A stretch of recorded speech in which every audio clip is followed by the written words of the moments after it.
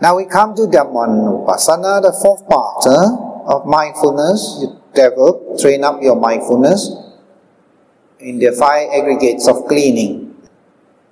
The question is, how do you go about that? Do you do that in your sitting meditation?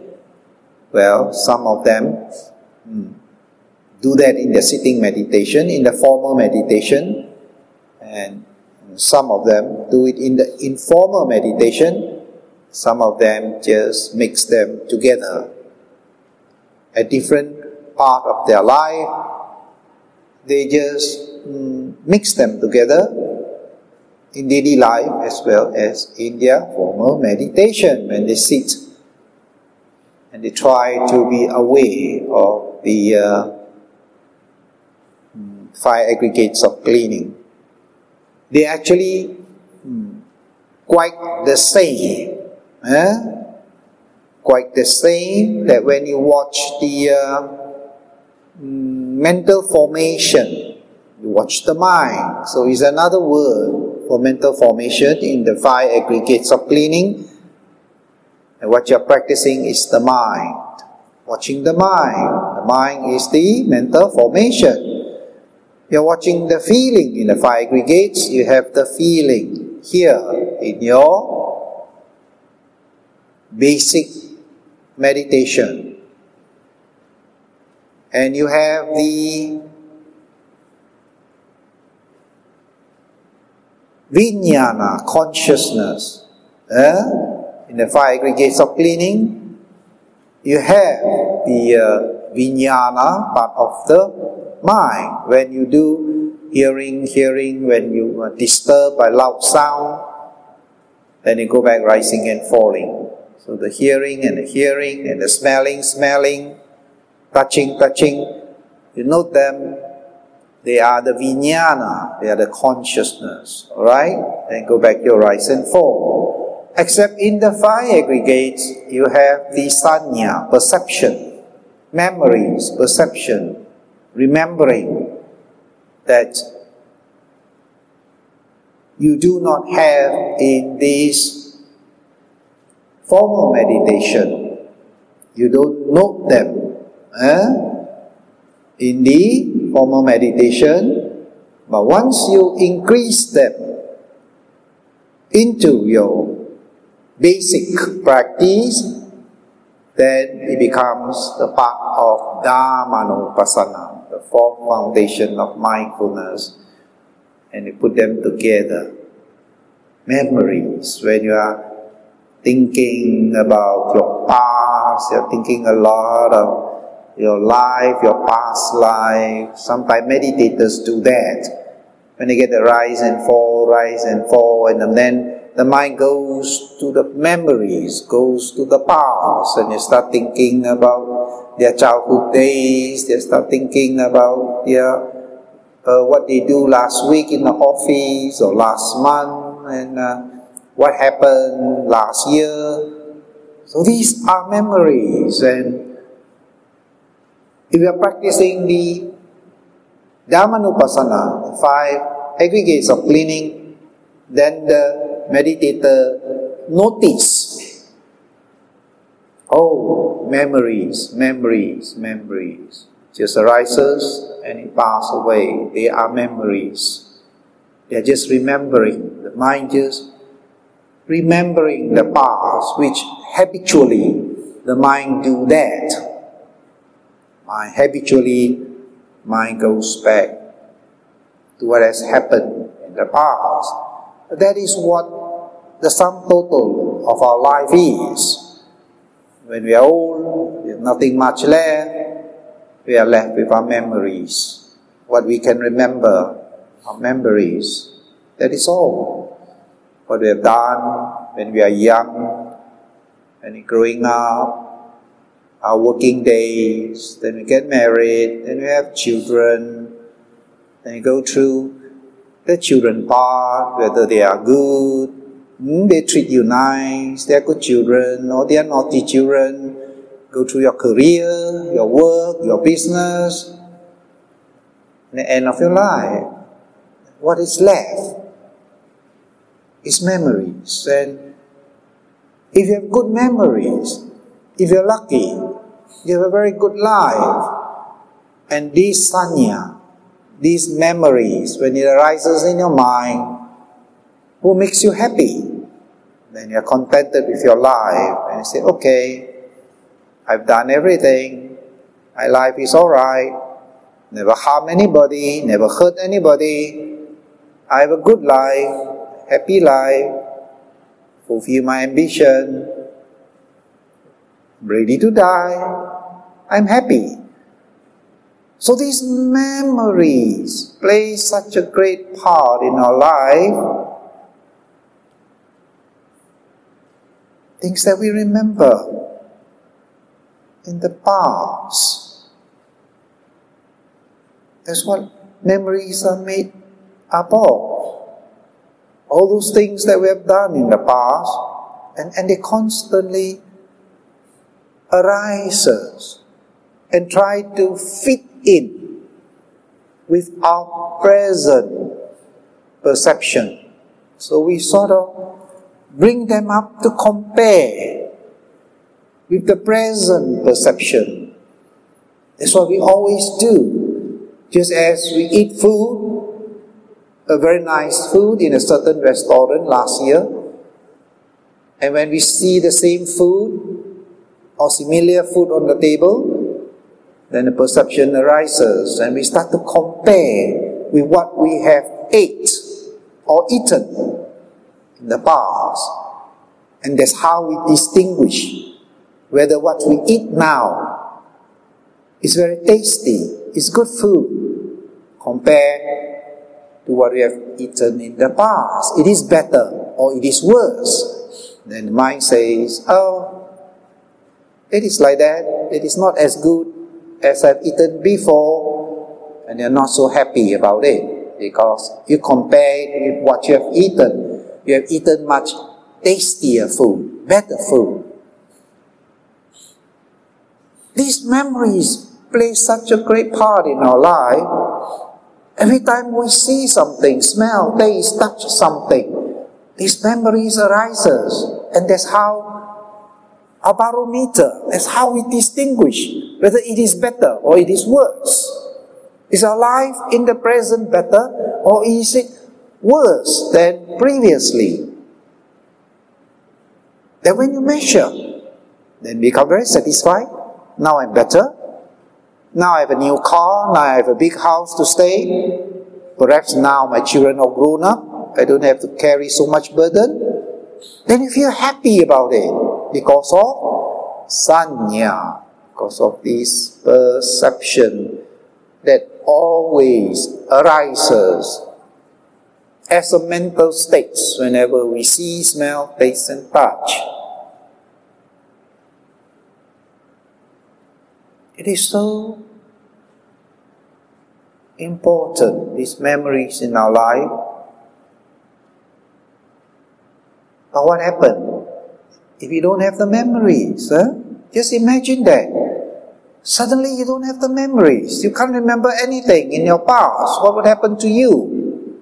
Don't you think it's a disaster? Right? Hmm? Like people who have dementia, they can't remember anymore.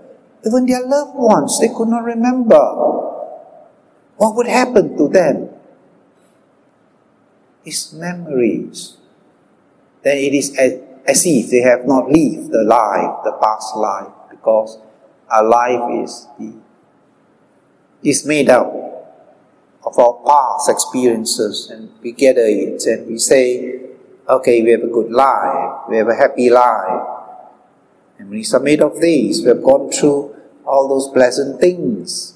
Eh? We are successful. But if, on the other hand, we have a lot of all those things happening that is not so good, then have a sad life. And so, people who lose their loved ones, and, and, and if you're very sad about it, and their whole life is so sad, because they keep remembering their loved ones, or if they have lost their properties or they lost a big sum of their money, And if you sad in this present life because Whenever they see, it reminds them of the past. The once they are rich, once they are okay, once they are happy. So it reminds them. Whenever they hear, smell, taste, touch, it reminds them.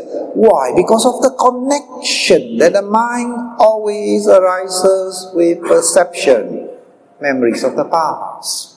It always connected to memories. That's how we start to distinguish. And that's how arises our likes and dislikes. When we compare. Compare with what? Past memories, past experiences. And we identify the perception, the memories as me, as I, as mine. That once I am like that. Huh? Once I have these.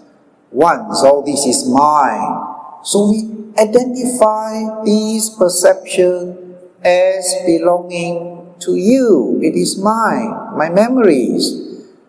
And once you cling to these memories, if it is good memories, it gives you a lot of pleasure, a lot of happiness. If it is bad memories, it gives you a lot of pain. But even if it is good memory, it has passed. You can't have it back again. You can't relive your life. You can't say that, oh, I'm so happy when I was 18 years old. I, I have party, I dance all night. But now that you are 60, could you do that again? Could you dance all night?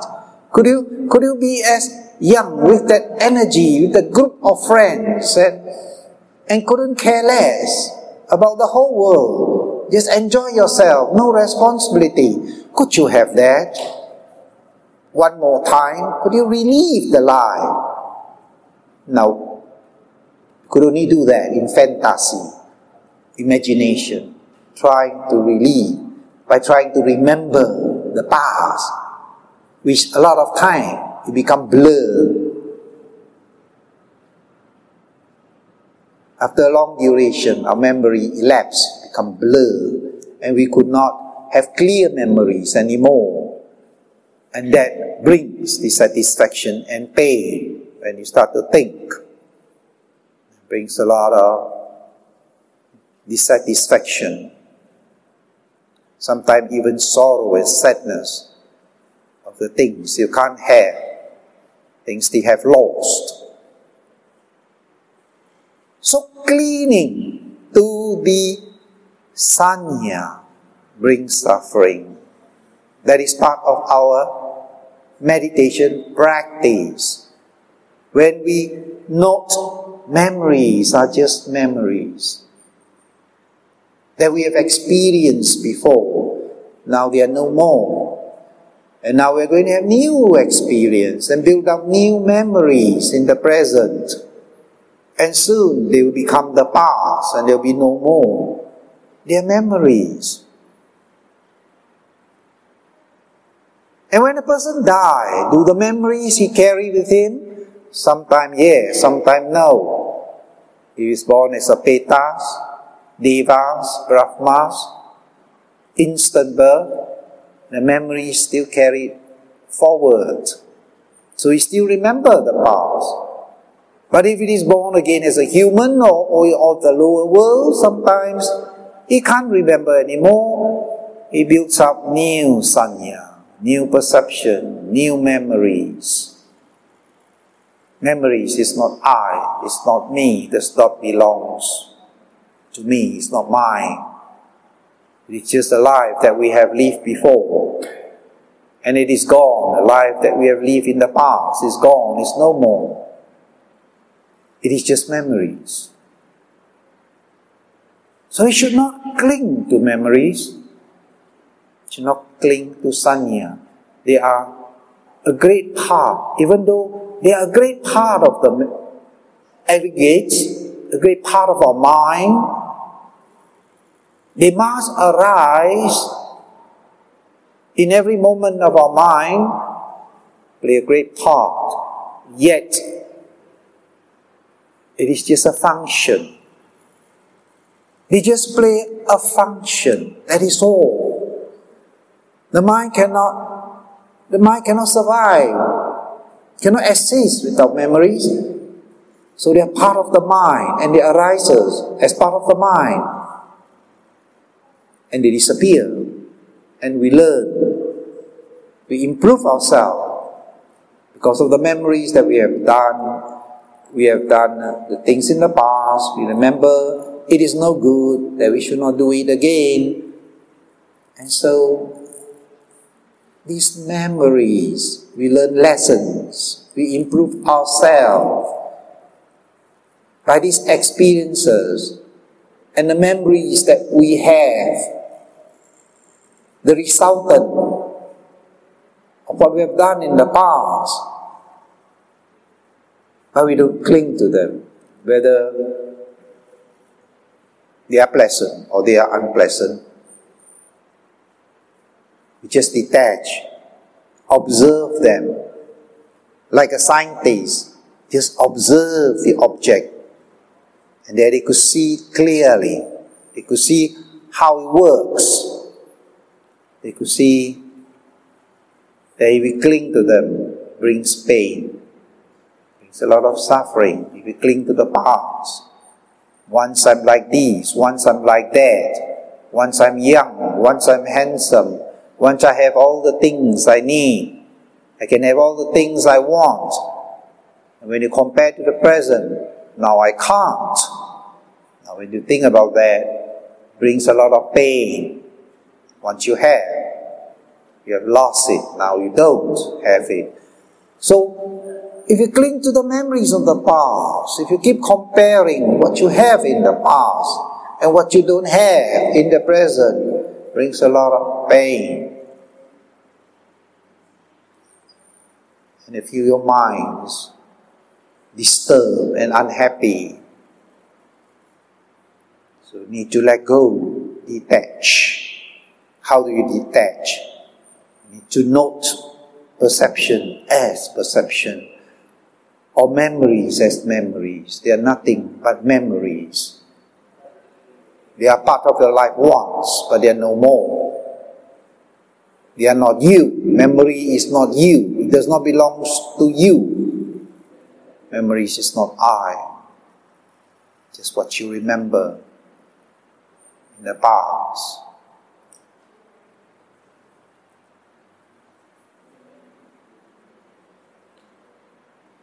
So, this perception, if you classify it, if it arises with craving, then we say that it is unwholesome perception. All right? If you think of something that you like to eat. You say, okay, I love the ice cream with bananas and things like that, with a lot of chocolate chips on top. You think of that and you say, oh, I love to eat that. So that's sanya, perception, memory. So ice cream that you have eaten before or you have not eaten before, but you picture it that you like to eat it, this type of ice cream. And so it is a pleasant object that arises in your mind that you love to eat this object. It gives you joy, gives you happiness. So you say, Oh, that is nice if I can eat this ice cream. So it's a sanya, it's a memory, it's a perception connected to craving. And so therefore, this perception is unwholesome unwholesome craving connected to unwholesome perception connected to craving. Perception by itself is neither wholesome nor unwholesome. Only when it arises connected with the unwholesome, then it's classified as unwholesome perception.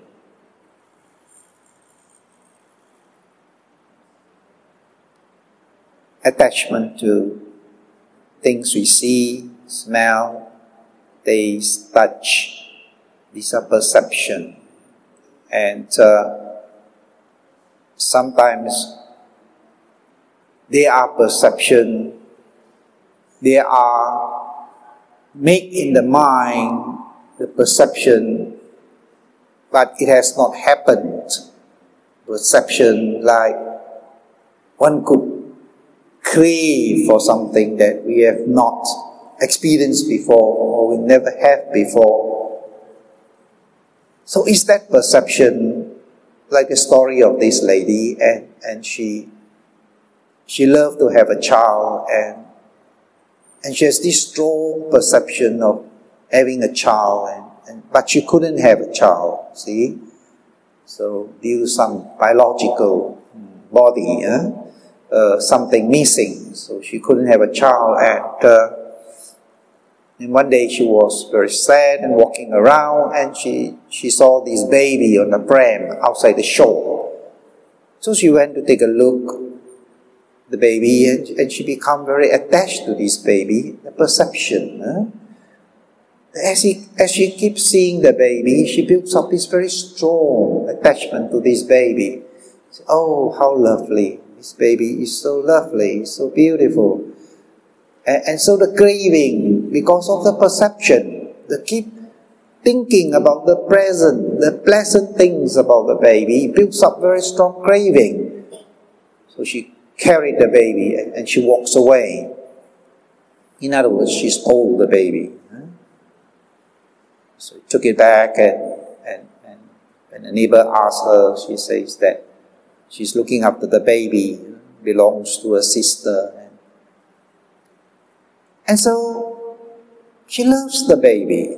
She took care of the baby, she feed the baby until the baby was quite quite big and, and she sent her to the kindergarten and uh, and the mother who lost the baby and uh, uh, she, she, got other children as well and, and, and, she went to the same kindergarten and and she can't the real mother couldn't uh, stop noticing this this this new new boy this new boy that came in and looked so much like like her other boy and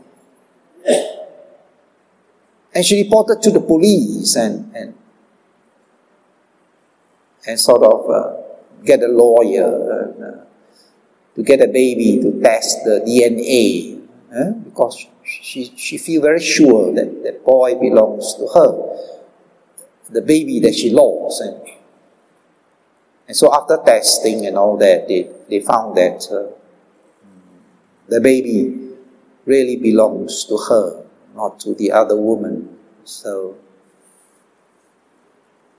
so the woman was in big trouble. Eh? She was put in jail for stealing another people's baby. But it's that perception. It's that perception that brings out the attachment, perception of having a baby. It's just desire to have a baby and she just can't have a baby when she, she look at that baby, builds up a lot of craving. And so she finally, craving is so strong she just leave the baby and walk away. So she stole the baby.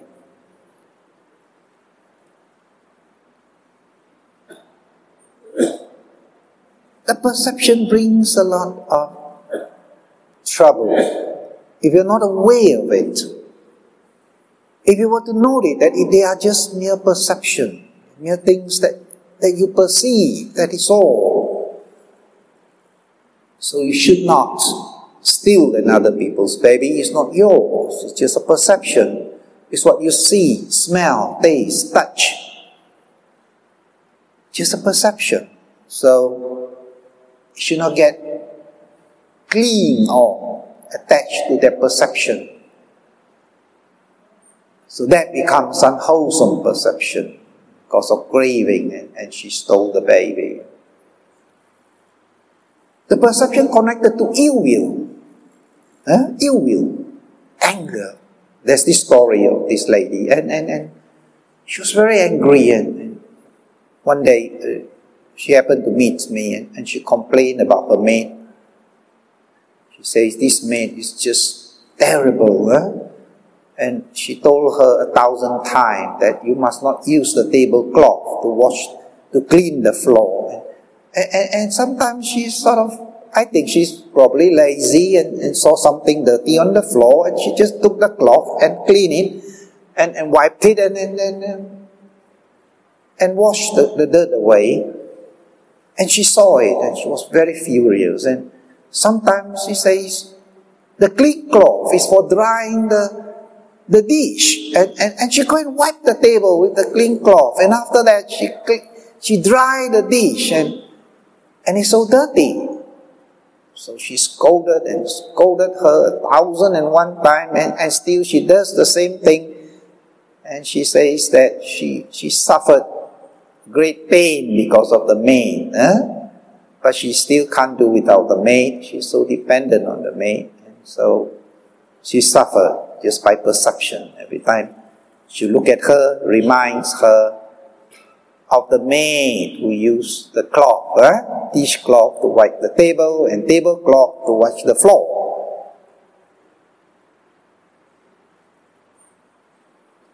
Is it right or wrong? Of course, we say that is right, isn't it? Of course, the maid shouldn't do that, you know. Uh, there should be a proper cloth to, to wipe uh, uh, the plate and the table and the floor. They are different. Floor is so dirty, so you can't use a tablecloth to walk, to clean the floor. So you say that this lady is right in scolding the maid. She's right. But spiritually, she's wrong. Why? Because that sanya, that perception, arises together with ill will. Whenever she see the maid, she gets angry, become very disturbed, annoyed, because it reminds her memories. Huh? Reminds her that this maid is doing the wrong thing. To the perception sometime, which is considered right, normally, right? What people should do and what people should not do normally. Yet if you were to analyze it spiritually, when you learn to understand the nature of sanya, this perception, and when it arises, brings about a lot of pain, ill will, hatred, anger, frustration, sadness, it is not a good perception. It's not a wholesome perception. Spiritually, it is wrong. It's a perception that arises even though it is right, but it is wrong in the spiritual sense, makes you unhappy.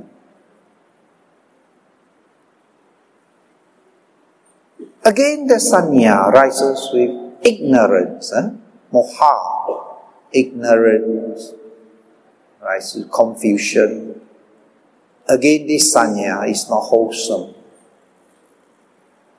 Like I like to bring out this example that that that the example, which is uh, like this guy, and uh, says that uh, his family when he dies, he doesn't want to be burnt and thrown into the sea. He could imagine that uh, mm, he will be very cold, 24 hours in the sea, be very cold. So he feels quite disturbed feels quite uh, fearful. So he told his wife that if he dies, he should never be burned and thrown into the sea. So the wife told me that mm, the husband say that, huh? never burn him and throw him into the sea. The sanya, the perception that arises in the future, if he dies, he doesn't want to be burned and thrown into the sea. Just imagine the, the, the, the attachment, the ego, that even when he dies, eh, still he perceives the body belongs to him. That is my body. But he is no more. There's no consciousness left. But he rises with moha, arises with ignorance, confusion. He doesn't want to be thrown into the sea. And another one, he doesn't want to be burned. He could imagine the amount of pain when, when, when, when he died and the body is pushed into the oven and was burning until the bones uh, become dust, turn into dust. And, and yet, the sanya, perception that arises in his mind, producing a lot of fear. Eh? A lot of fear, uh, mainly because it is confusion, because it's ignorant.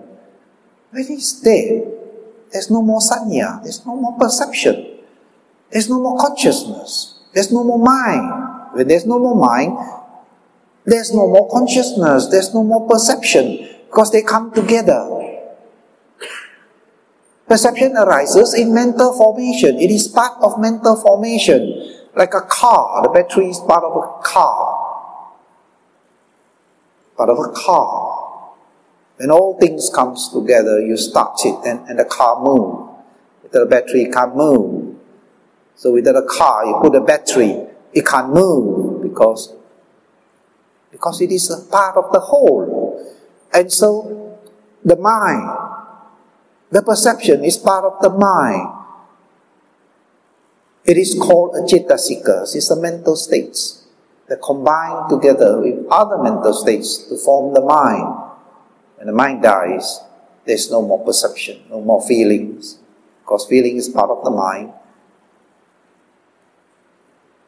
But when that person perceive, perceive the way he dies, if you put and burn him, it will be very painful. So it arises with confusion mind, ignorant mind that this thing won't happen because when a person is dead, there's no more feeling, there's no more pain. Eh? No more pain.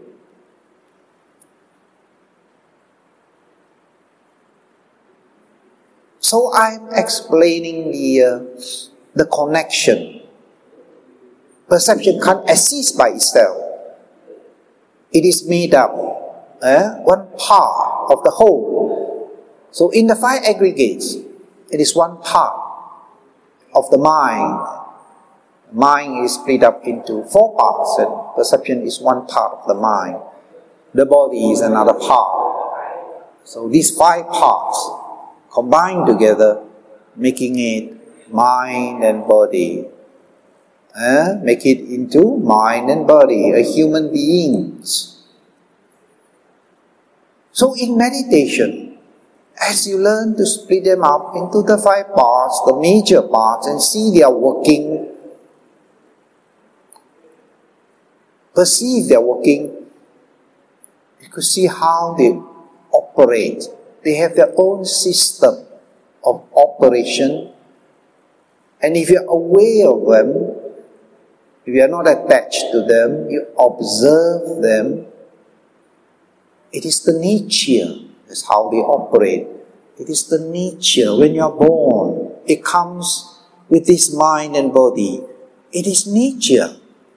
And, and they operate in their own way. Each part operating their own way.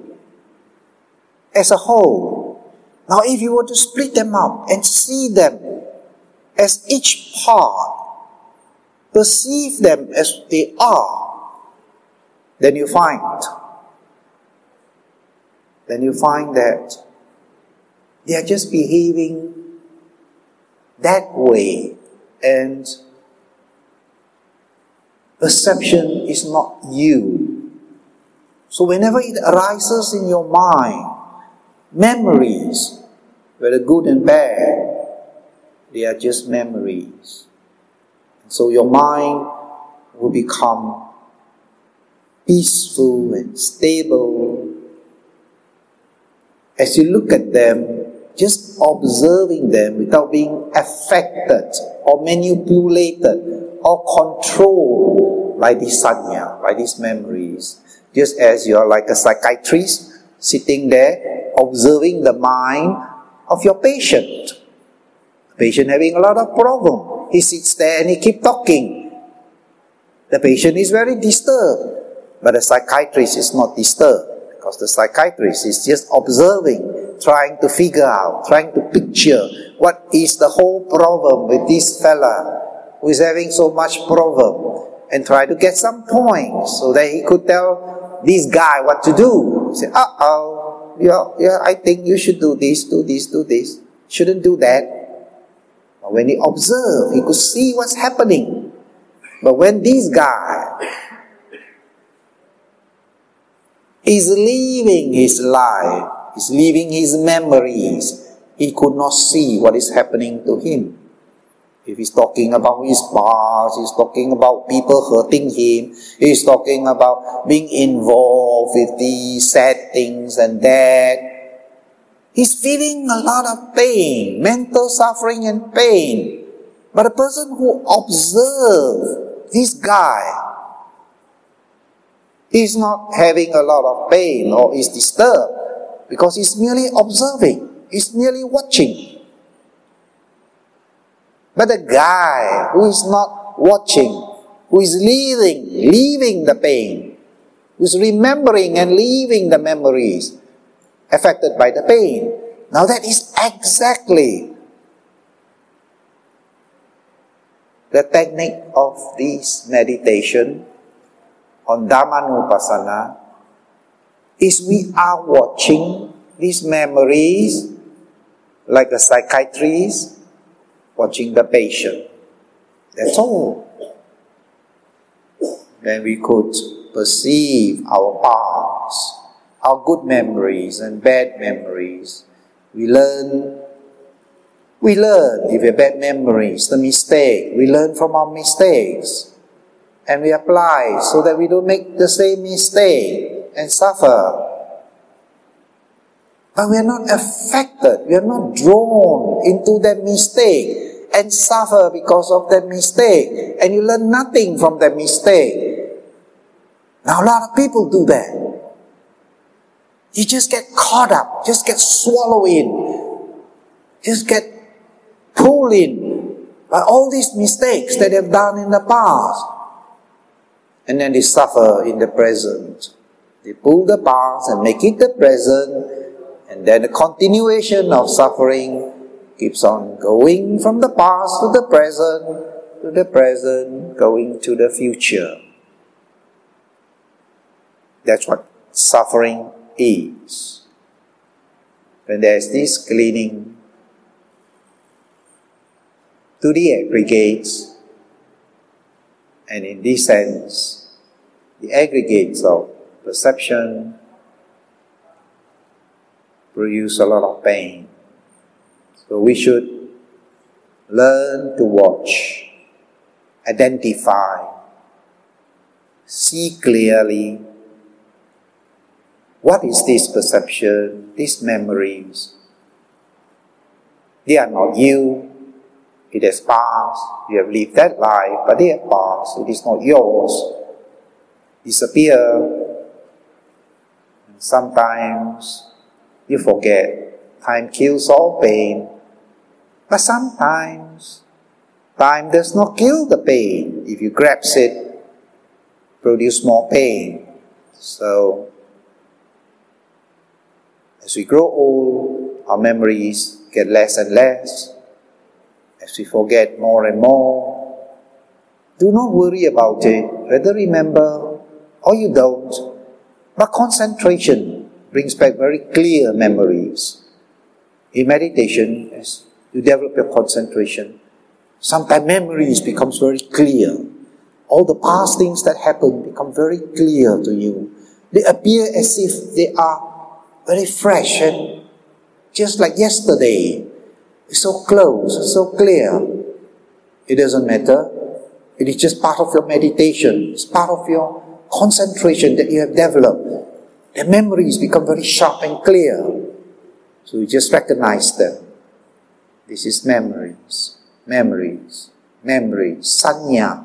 It is not a psychic power, it is not anything else.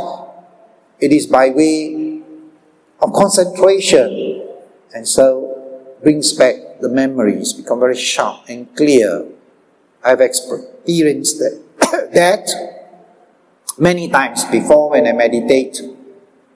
In my past, they appear in my mind become very clear and very sharp and very colorful. It's like seeing a movie right in front of you. And, and your life just keep on flashing the past that, that, has, that is gone by. It just repeat itself. I suppose it happens the same way when a person is dying.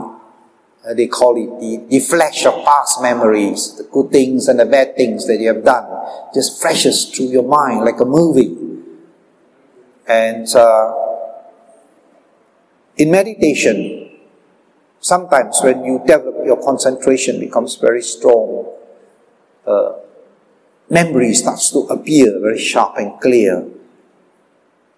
And those who really, really develop very, very strong concentration, they can even see the past life.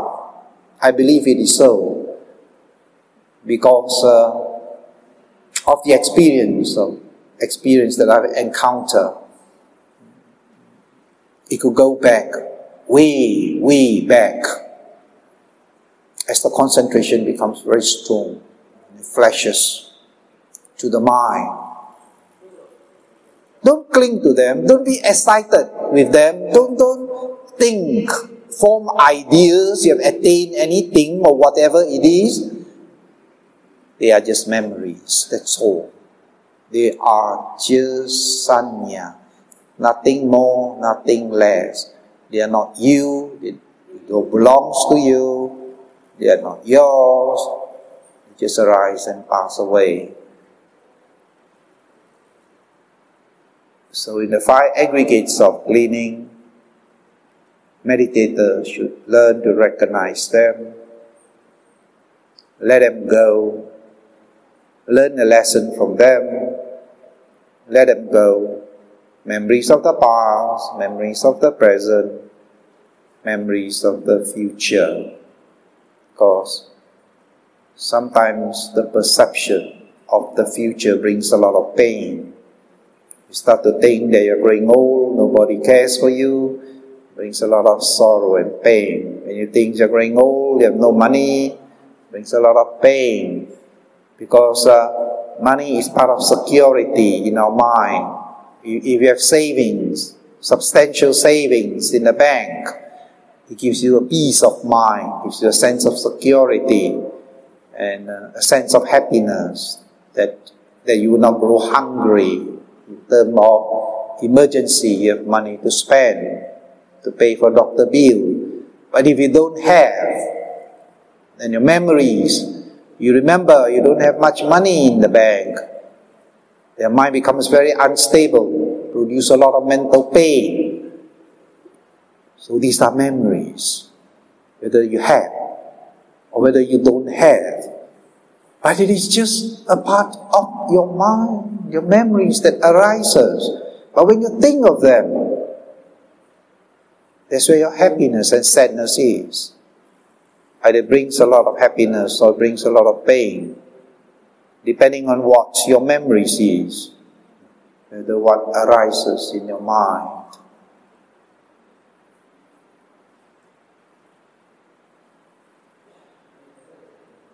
So there's this three section of memories of past, present, and future.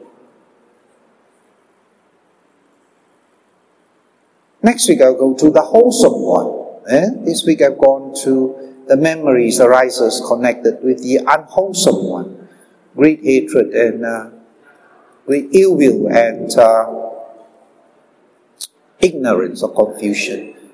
Next week I will talk about the memories, huh? perception that arise with the wholesome one and. Uh,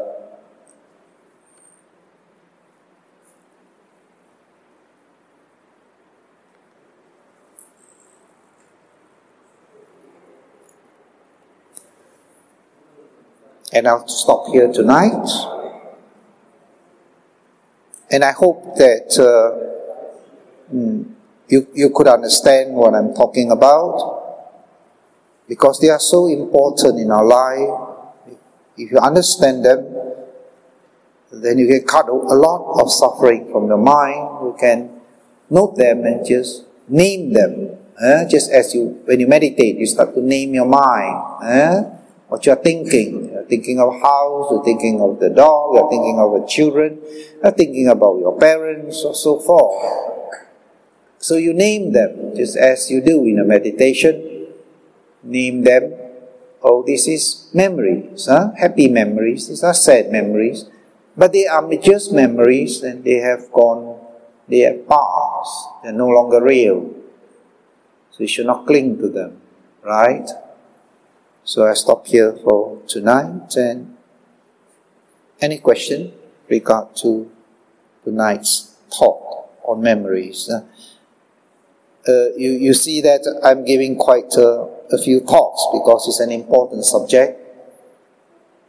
It's important, it's part of your meditation practice on Dhammanu.